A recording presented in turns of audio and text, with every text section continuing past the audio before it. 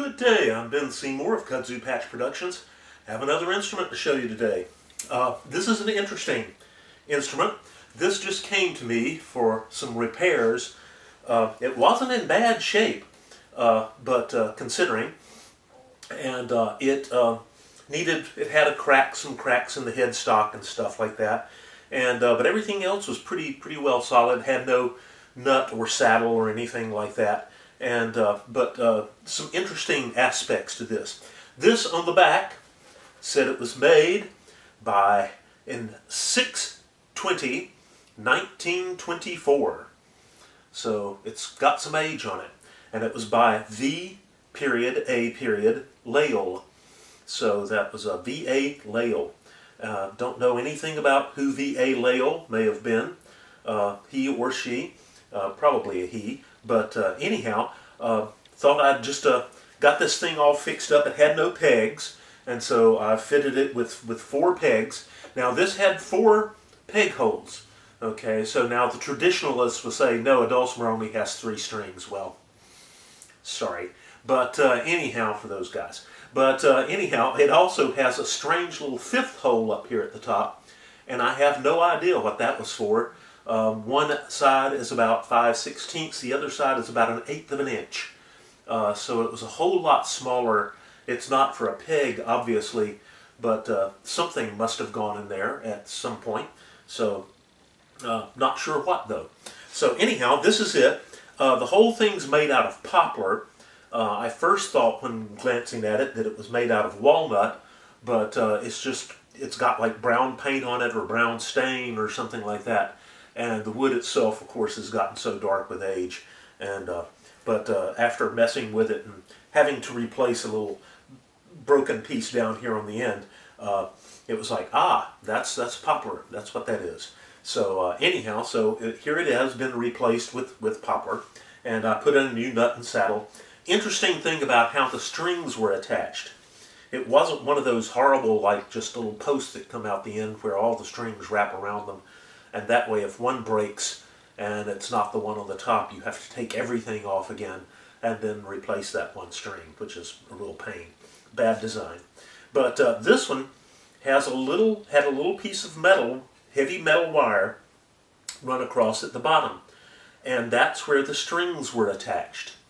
Uh, I could tell because there were strings still left on there, so the, the ends of strings. Uh, I use ball end strings because I could just flip it back through and make a loop and stuff. But they're attached once again on this piece of metal down here that holds them. So each string is individual now. And, uh, you know, if one breaks or something like that, you can just pop it off and put on another one. So the uh, top and the back are could be used for bookshelves. I mean, they're they're pretty thick. They're they're a quarter of an inch. Uh, so it's like uh, couldn't really tell about the sides. I don't have a way to get in there. Uh, these the sound holes are really really small, and so it would be difficult to get in there and uh, try and get any kind of measurement from from those sides. But this is what we got, um, and uh, you know it was uh, has staple frets all the way across. Sorry again, traditionalist, 1924, but they went all the way across the fretboard. So uh, anyhow. Uh, so uh, those were all still intact except for one that was missing, so I replaced it. Uh, the wire size happened to be uh, 0.040, so it was something that I could get hold of. Uh, actually had some. And right here too on the, the strum hollow, not really a strum hollow, but the strum area, uh, has that piece of metal going across it, like some of the Tennessee music boxes and stuff like that, to keep it from being torn up. So that's a good good idea there as well. But so I thought I'd give you a little bit of this. It doesn't have a whole lot of sound on it, but I thought I'd play the tune, a tune or something, so you can hear it. And uh, I thought I might do Little Buffalo Boy. Now I'm going to sing both the female and the male parts. And of course, if I was in Florida, I might get arrested for doing that. But here we go. So a little bit of Buffalo Boy.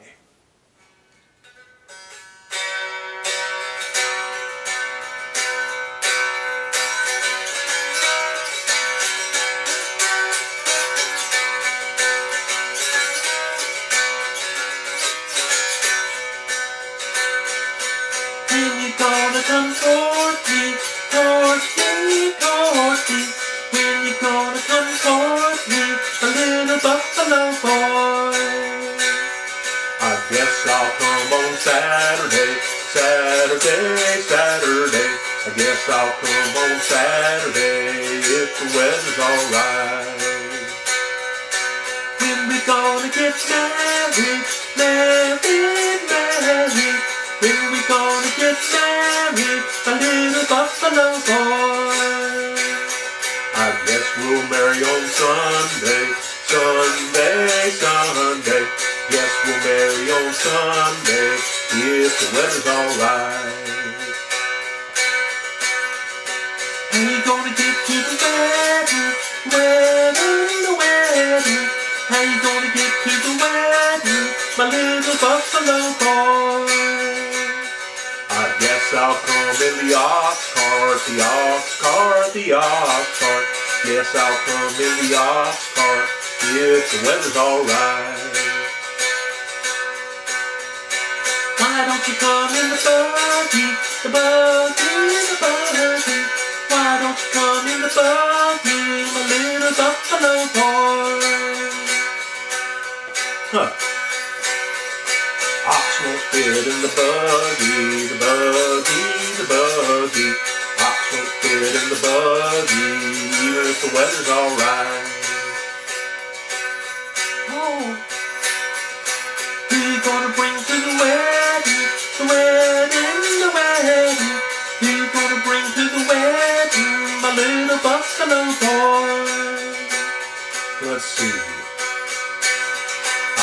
I'll bring my children, my children, my children. Guess I'll bring my children if the weather's alright. Oh. Didn't know you had any children, children, children. Didn't know you had any children, my little buffalo boy.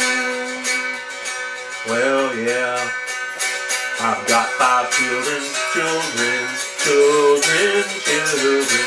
I've got five children, six if you count just right. Oh, ain't gonna be no wedding, wedding, wedding. Ain't gonna be no wedding, my little buffalo boy. Well, let's see. I got five million dollars, dollars, dollars. I got five million dollars, six if you count just right. Oh. When we gonna get married, married, married? When we gonna get married, my little buffalo boy?